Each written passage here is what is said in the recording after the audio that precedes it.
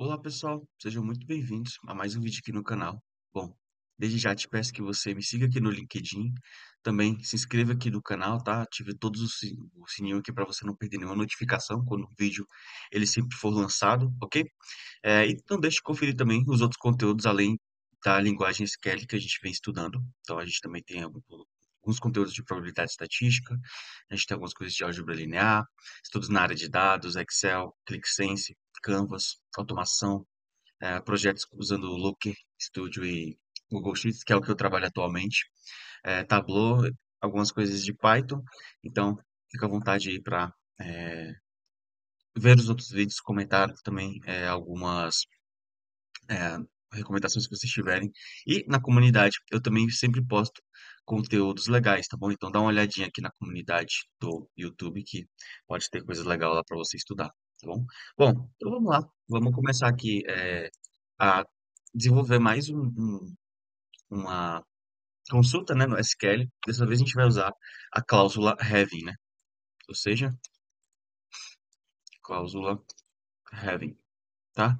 Bom, a cláusula having em SQL, ela é utilizada, pessoal, para especificar condições de filtro que se aplicam a grupos de registros, né, em contraste com a cláusula where. Ou seja, quando a gente eh, fazia uma consulta aqui, né, a gente de fato já começava ali a também realizar um filtro com o where, né? Mas quando a gente está utilizando ali é, o having, né, ele é frequentemente utilizado quando a gente quer fazer uma agregação. Ou seja, aqui a gente faz uma consulta simples, né, usando uma especificação, ou seja, seleciona todos esses dados ou seleciona alguns dados da tabela tal, é, quando, né, que é o where, quando tal coisa for verdadeiro, tal coisa conversa com tal é, caractere, ou depois, ou entre. Então, o where funciona dessa forma, né? Mas o have, ele especifica uma condição para um grupo criado pela cláusula group by. tá? Então, o group by, ele vai funcionar junto com o where. Então, é útil quando a gente deseja aplicar um filtro que não pode ser aplicado antes da agregação de dados, né? Ou seja, aqui a gente agrega antes. Aqui no, no having ele é diferente, né? Então, é, o where ele funciona com uma, uma cláusula pós-agregação, né? Ao contrário do having. Então, por exemplo, né? A gente quer, a gente vai usar uma tabela é, aqui. A gente quer trazer, né? Uma tabela onde somente as profissões que têm mais de dois registros elas apareçam aqui na nossa na nossa consulta. Ou seja, a gente vai utilizar o select cargo A gente vai dar um count aqui, né? Porque eu quero todas as informações, quero saber quantas vezes determinado curso aparece. É, count quantidade, ok?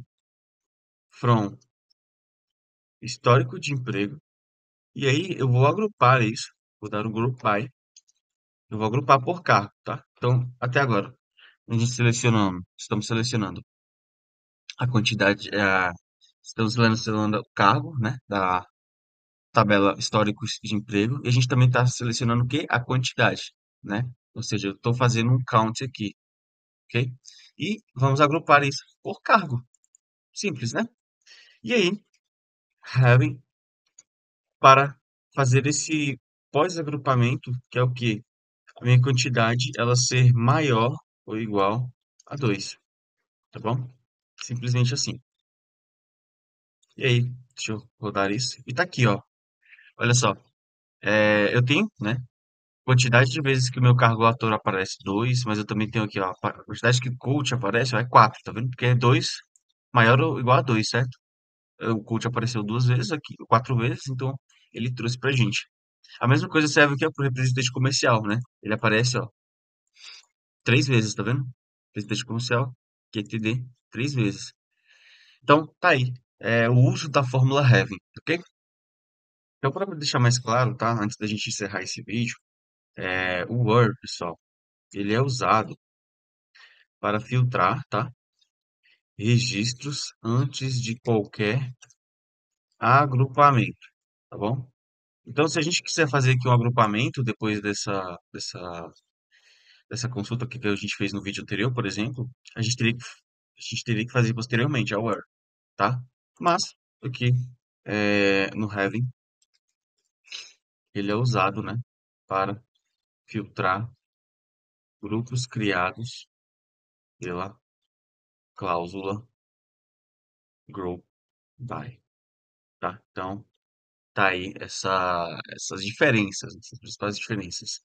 E é- sempre que a gente usar o have, having, a gente geralmente vai ter que usar uma cláusula group by, né, na sua consulta. E a ordem das cláusulas em uma consulta SQL ela é importante, né? Ou seja, a gente tem o select, e aí vem o from, né?